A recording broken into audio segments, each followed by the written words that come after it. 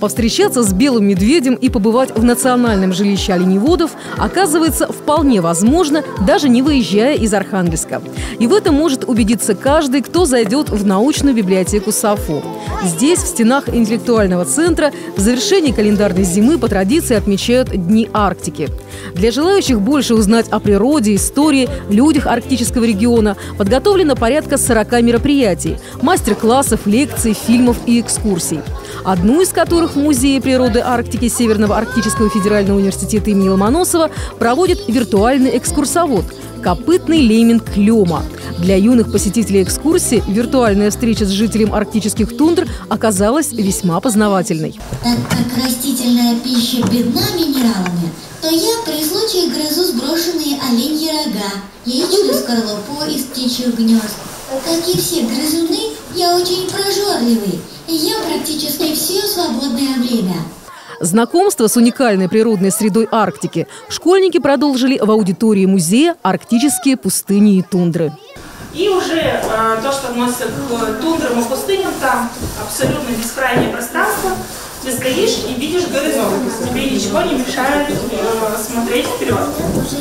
Единственное, что вы на горизонте можете увидеть, например, силуэт северного оленя. А второклассники 26-й школы города Архангельска смогли не просто узнать об особенностях сурового северного края, но и стать на время настоящими полярниками, проявив смекалку и находчивость, участвуя в игровом квесте арктическими маршрутами. В свою копилку знаний они добавили еще несколько.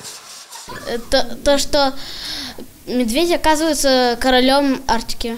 Чтобы пойти в Арктику, человек должен быть сильным, смелым, ловким. От природы Арктики к истории кораблестроения на севере в эпоху правления Петра I.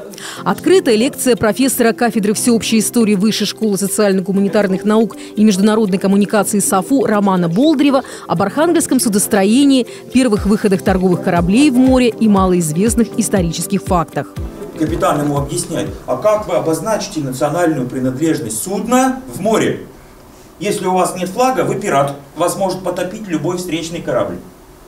И пришлось прямо здесь, в Архангельске, придумывать первый российский торговый флаг. Вот тогда и родилась эта комбинация из трех полос, белого, синего и красного цветов.